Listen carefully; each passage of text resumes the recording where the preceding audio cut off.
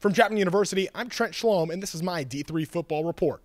The Chapman Panthers go on to defeat the Occidental Tigers by the final score of 44 to 28 in what really was a very back and forth game to get head coach Bob Owens his 50th career victory, 31 of those here at the helm of the Chapman Panthers. Two times tonight, Chapman led by two touchdowns, and it seemed like each time the Occidental Tigers were able to climb back, including a 14 0 deficit at the start of the game. But at the end, it was a play action pass to Kali'i Kunitomo, which separated this game, had the touchdown at the end, and then Jeremiah McKibbins scoring a late touchdown run after a great Cameron Cutter interception. Jeremiah McKibbins did go down in this game, a scary moment for everybody here holding the leg, but he was just fine, would come back and would score that touchdown in at the end. The Panthers advance to 4 and 1, Occidental falls to 1 and 4. Next week, the Panthers head over to Redlands and take on the Bulldogs. From Chapman University, I'm Trent Schlom,